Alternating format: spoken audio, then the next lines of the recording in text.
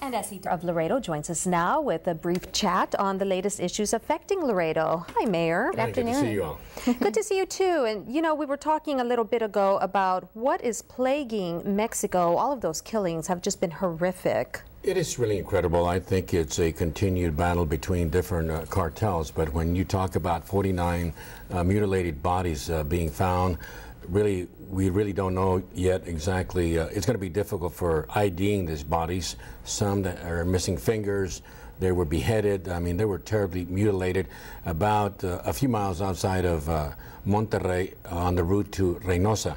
Uh, it is horrible, and I know that Mexico has braced itself to fight the cartels and this ugly, ugly violence, and it continues to plague the country of Mexico. Do you think there will ever come a time when we might have U.S. soldiers going in there as we do in Iraq or Afghanistan? Well, that would be very difficult. First of all, any help that would be asked would be asked from the Mexican government to the United States. I don't know if the case of military forces would ever be welcome, especially right now, you're in the middle of an election which is very, very sensitive.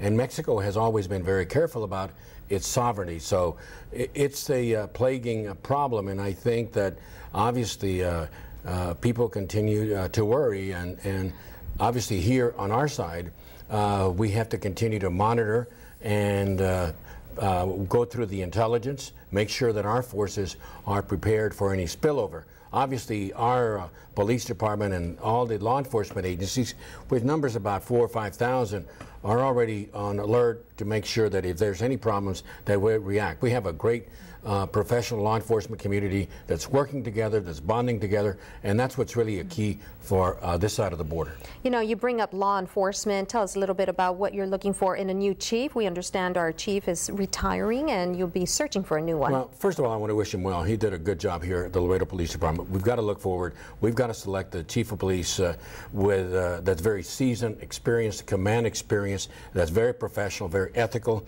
accessible, uh, transparent, someone that can be held accountable, someone that will bring a police department uh, together, someone that will be a uniter, someone that will work together with all the multi-agencies that we have here. But I want a chief of police that's going to go out in the schools that will be seen, that will work hard to, to make sure that uh, this department continues to move forward, and someone that has good connections in Washington. My preference would be to have someone local you know, but we have to look at everybody. You know, we're an equal employment uh, opportunity employer in the city. But you know, we have a great police department. We want to make it better. And uh, but I would like to see a chief of police that's going to be out in the community, that's going to visit our senior citizens, that's going to be working with our kids. Our kids face a big challenges. So I think that's important. I think to have a chief of police uh, uh, to go out there and, and to be out there and be seen and be with the public I think that's important. Thank you so much. And the search is already on for that. Absolutely. Well. we'll, we'll get it, we'll get the process opening. Before I go, I just want to thank the people from LAPS. I think they've done a great job in this community. They work for decades, so I'm I, I just want to thank them. And we want to create an option for adoption okay. for, for, our puppies. Thank you, Mayor. Thank and you cats too. Okay. Thank you for joining us, Mayor.